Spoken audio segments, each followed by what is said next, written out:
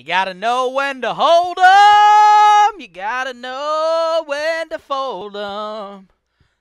Sometimes you just got to walk away from a deal, folks, and this this is one of those times. This is your show. This is the show where I work for you directly, taking your needs. I'm going through the MLS and I'm trying to find the best possible deal for you guys. Put down 25%. That's the perfect way to buy this. That's why real estate investing is the greatest industry in the world. Welcome to the show, the show where I work with investors like you to help you invest in real estate, right? Today I'm working with Paula. Paula, you are from Texas and you found a deal that you dig, right? This property right here, 815 West 20th Street in Lorain, 44052, listed at a cool 24 grand, right?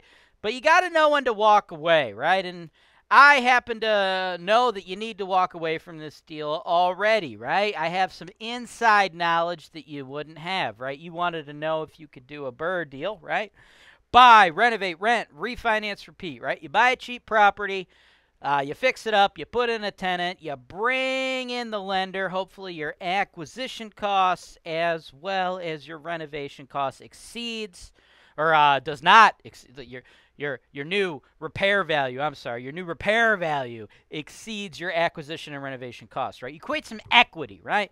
But uh, this deal, which I understand why you've targeted it, this deal would very much look like a deal that you could do that on, right? Because the price is only twenty-four thousand. But look, it's been on the market sixty-eight days, and this is by far one of the cheapest houses in the Cleveland market. By far, one of the cheapest houses you can get, right? The situation is, and like I said, your boy Jay Wise I got some inside knowledge, right? That's why it helps to work with somebody who sold two hundred million dollars worth of real estate, folks. I kind of, I kind of know what's going on around town. You know what I'm saying?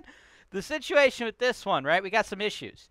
There's only one photo, right? And it's priced at twenty four thousand, so we know, we know it's going to need a bunch of work, right? But I, I, this is it. This is all the agent has done for us. It's a vacant house.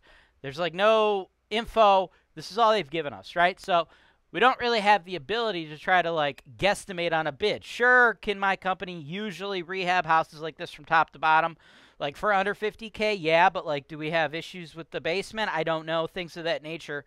Uh, but that could be like a starting point. But we're unable to get information from this agent. We're unable to do deals with this agent, right? This agent is actually working with an out of country investor uh, to sell like a portfolio of properties in and around this area, right? And we've worked with them in the past, or at least tried to. And uh, I mean, this doesn't make sense to a lot of people that are new to the business, uh, but like you just can't get anything out of them. They don't uh, return emails, they don't return phone calls, they're just silent, right? I know that everybody out there who's watching, they see a property get put on the MLS. They're like, oh, this this person's listed their property for 24 grand. They must be trying to do everything they possibly can to sell it for 24 grand. Their agent must be working as diligently hard as they possibly can to get this sold, right? That's probably what you think. Unfortunately, that, folks, is not the reality of investing in real estate. What you guys probably don't know is the real estate industry, it's kind of a mess, honestly. Uh, nationwide, nationwide, folks, we're looking at an average annual turnover rate of close to 90%. I think like last time NAR put out some stats, it was like 86, 88, something like that, right? So that means if you talk to 10 realtors this year, next year, nine of them ain't going to be realtors, okay? And folks, the ones that are the really good ones, right? What do they do, right? They go where the money is. You know where the money's not? The money's not in listing $24,000 properties, right?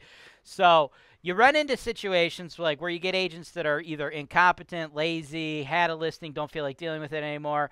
Communication breakdowns breaks down with the owner. Maybe uh, the owner and this agent are no longer getting along, and they're just like they're done with it. They've walked away with it, right? That's essentially like where we are, right? Because we've tried reaching out to them. We've we've actually ended up sending in cash offers like at or above list price on some of the other listings by this particular agent.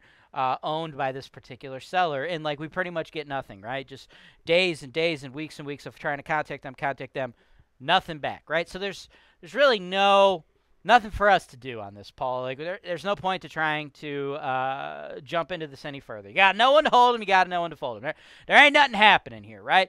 I don't know what happened. Is it pure incompetence by this agent? Is it a complete breakdown by the client? Sometimes clients disappear. That happens too, folks. You get a client who gets all gung ho, they want to sell a property, you list it, you spend all that time and resources putting it on the market, fielding offers, and then you go back to your client and the guy ghosts you. Uh, you know, it sucks, but that is part of the business, right? Things like that probably also uh, contribute to the 90% turnover rate, right? You get a few realtors in there, they do all this hard work, and then the prick fucking seller just like disappears on them, right? I mean, these are things that just happen, right? And that's that's really what I want to do with this show, and that's what my mission with the show and Holton Wise TV is. It, it, it's to bring this stuff to light, right? Because nobody likes to talk about it. It's almost like the dirty laundry of the real estate world, right? A lot of people wouldn't know things like that happen, but unfortunately, that is the situation with this. So, no idea how much the rehab's going to cost. Pretty much no scenario where I can get any answers out of the seller. Highly doubt they'd accept your offer. They don't even respond to anything.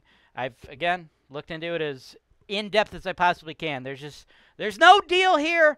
Luckily, investing in real estate is a numbers game, so you know what we're going to do, Paula? We are going to move on to the next one. Thanks for watching. Subscribe to Holton Wise TV for more financial information, education, and entertainment.